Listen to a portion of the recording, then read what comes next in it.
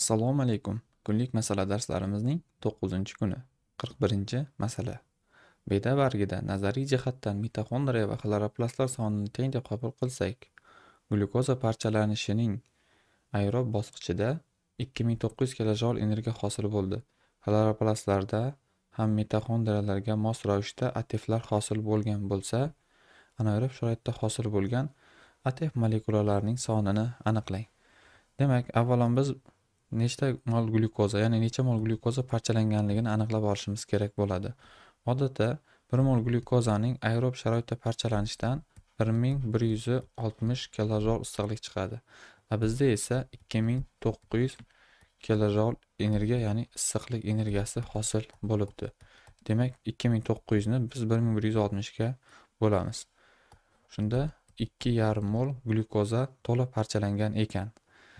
Demak, glyukoza to'la parchalanish natijasida mitoxondriyada ATF hosil bo'ladi. 1 mol glyukoza mitoxondriyada parchalanganda 36 ATF hosil bo'ladi. 2,5 mol glyukozaning parchalanishi natijasida esa 90 ta ATF mitoxondriyada hosil bo'ladi. Bu ATFlar mitoxondriyadagi ATF bo'lib, aerob sharoitda hosil bo'lgan ATF hisoblanadi. Bizdan esa anaerob sharoitda hosil bo'lgan ATFlar so'ralmoqda.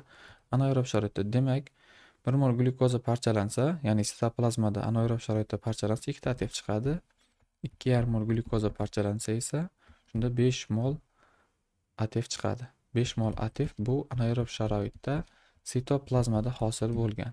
Ana endi xloroplastdachi? Xloroplastdagi jarayon ham anaerob sharoitda kechadi. Xloroplast nechta ATF hosil qiladi?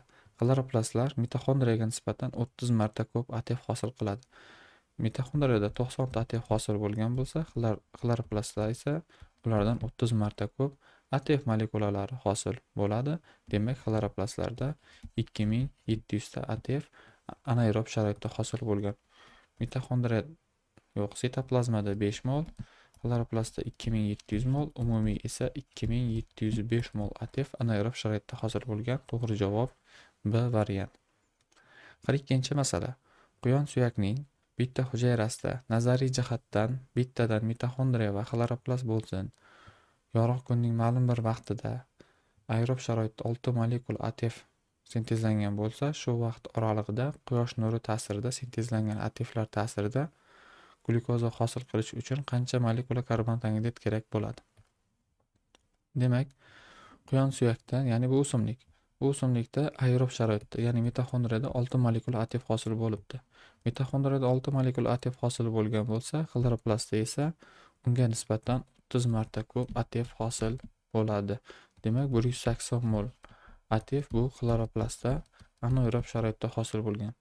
Bitta glyukozaning sintezi uchun 18 mol ATF sarflanadi, 6 mol karbonat angidrid sarflanadi. a Bizda esa 180 mol ATF bor. Demak, 180 mol ATF saflansa demak 60 mol karbon tangidrid ta'sirida glyukoza hosil bo'ladi. Bizdan saflangan karbon tangidrid molekulalari so'ralgan, demak u oltmish mol bo'ladi. To'g'ri javob A variant.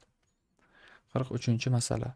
besh mol glyukozaning bir qismi chala, qolgan qismi esa to'liq parchalanish natijasida hosil bo'lgan suv va ATF molekulalari oltitaga ko'p bo'lsa, chala parchalangan glyukozaning miqdorini aniqlang deyilmoqda.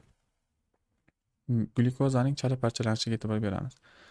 Agarda glyukoza chala parchalanadigan bo'lsa, demak bizda 2 molekula suv hosil bo'ladi, 2 molekula ATF hosil bo'ladi. Demak, glyukozaning qanchasi chala, qanchasi to'liq parchalanishidan ahamiyati yo'q. Bu yerda suv bilan karbon tangidridning miqdori farq qilmaydi. Endi glyukozani to'liq parchalanishiga e'tibor beraylik. Agar glyukoza to'liq parchalanadigan bo'lsa, 1 mol glyukozaning to'liq parchalanishidan 44 molekula suv, 38 molekula ATF hosil bo'ladi. Demak, bu yerda 1 mol glyukoza agarda to'liq parchalanadigan bo'lsa, suv va hosil bo'lgan suv va ATFlar o'rtasidagi farq 6 molni tashkil qiladi. Demak, bizda masala shartida aytilyaptiki, glyukoza to'liq parchalandi va chala parchalandi, suv va ATF miqdori 6 ta farq qildi. Demak, 1 mol glyukoza to'liq parchalangan ekan. Qaytarib aytaman, glyukozaning parchalanish natijasida suv va ATFning o'rtasidagi farq bu to'liq parchalanishdan kelib chiqadi. Glyukozaning to'liq parchalanganda. 1 mol glyukoza to'liq parchalansa, farq 6 teng bo'ladi.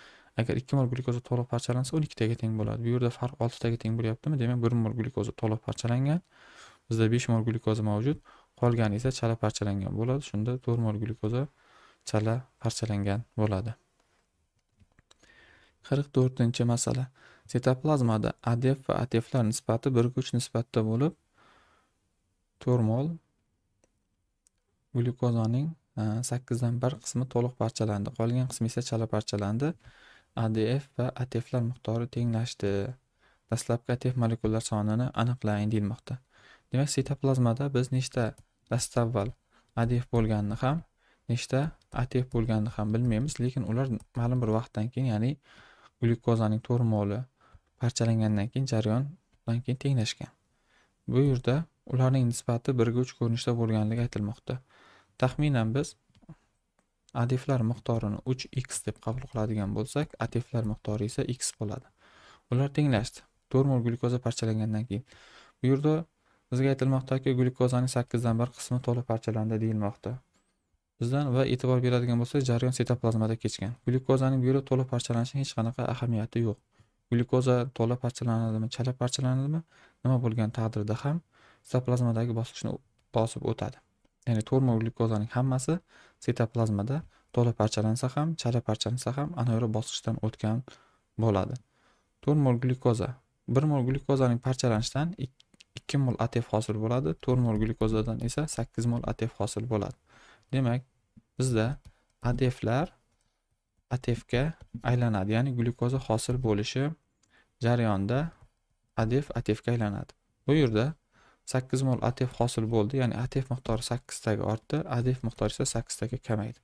Tenglamamiz quyidagicha bo'ladi. Dastlab adeflar uch x edi. Ular sakkiztaga kamaydi. Ateflar esa x edi ular sakkiztaga ortdi va jarayon tugagandan keyin ularning soni tenglashgani bizda masala shartida aytilmoqda. Mana shu tenglamamiz hosil bo'ldi. Demak uch x minus x bo'ladi bu yoqda esa sakkiz plyus sakkiz bo'ladi. Sababi mana bu yerdagi manfiy ishora tenglamani bu tomoniga o'tsa ya'ni chap tomondan o'ng tomonga o'tsa musbat ishora bilan o'tadi. Shunda ikki x teng bo'ladi o'n oltiga x teng esa sakkizga teng bo'ladi. Demak har bir x ni qiymati bizda sakkizga teng bo'lar ekan. Bizda dastlabki adeflar so'ralmoqda. Adeflarning dastlabki miqdori uch x bo'lsa demak uchni sakkizga ko'paytiramiz. Yigirma to'rt bo'ladi. To'g'ri javob b variant. Qirq beshinchi masala. Hujayradagi adef va atef molekulalar nisbati birga ikki nisbatda bo'lib yetti yuz yigirma gramm glyukozaning to'liq va chala parchalanish natijasida adef va atef miqdori tenglashdi. Necha gramm glyukoza chala parchalanganligini aniqlang hujayrada dastlabki sakson sakkiz mol atef bor edi. Bizda masala shartida aytilmoqdaki hujayrada dastlab adeflar va atflar nisbati berib o'tilgan. Ular nisbati birga ikki ko'rinishda ya'ni atflar adeflar bir biri bilan birga ikki nisbat ko'rinishda bo'ladi. Va dastlabki atflar miqdori o'zi aytilmoqda. Demak atflar miqdori sakson sakkiz mol bo'ladigan bo'lsa adeflarning miqdori esa ulardan ikki marta ko'p bo'ladi. Demak sakson sakkizni ikkiga ko'paytirsak bir yuz yetmish olti mol bo'ladi. Endi glyukoza parchalangandan keyin bu yerda hujayradagi adeflar va ateflar soni o'zgaradi lekin ularning umumiy qiymati o'zgarmaydi.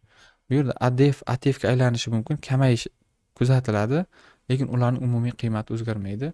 Bu yerda adef bilan atefning umumiy qiymati ikki yuz oltmish to'rtta va masala shartida aytilmoqdaki adeflar va ateflar miqdori tenglashdi. Ya'ni ikki yuz oltmish to'rtta bo'lsa mana shuni ikki yuz oltmish to'rtni ikkiga bo'lamiz. Ya'ni jarayon tugagandan keyin bir yuz o'ttiz ikkita adef bir yuz o'ttiz ikkita atef bo'lgan. Demak bu yerda bir yuz yetmish oltidan o'ttiz ikkini bir yuz o'ttiz ikkini ayiramiz. Demak bu yerda qirq to'rtta atf ya'ni adef atefga aylangan. Yoki bo'lmasa mana bir yuz o'ttiz ikkita atef bo'lib qolyapti. Dastlab sakson sakkizta atef bor edi. qirq to'rttaga o'rtayapti bu yerda adeflar miqdori qirq to'rttaga kamayyapti chunki atefga aylanyapti ateflar miqdori esa qirq to'rttaga ortayapti nima sababdan? Glyukozani parchalanish hisobidan. Hujayrada yetti yuz yigirma gramm glyukoza bor. Yetti yuz yigirmani bir yuz saksonga bo'lamiz. Chunki bir mol glyukozani miqdori bir yuz sakson gramm yetti yuz yigirma gramm glyukozani miqdori to'rt mol bo'ladi. Endi tenglama tuzib olamiz.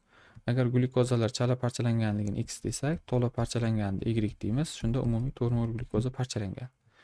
Chala parchalanishdan ikkita atf hosil bo'ladi. To'la parchalanishdan esa o'ttiz sakkizta atf hosil bo'ladi. Shunda umumiy qirq to'rtta atf bor. Endi mana bu tenglamamizni ishlashimiz uchun x larni tenglashtirib olamiz. Ikkiga ko'paytiramiz. Ikkiga ko'paytiradigan bo'lsak demak ikki x plyus ikki y sakkizga teng bo'ladi. Ikkinchi tenglamamiz hech qanaqa o'zgarishsiz yoziladi. Teng qirq to'rt.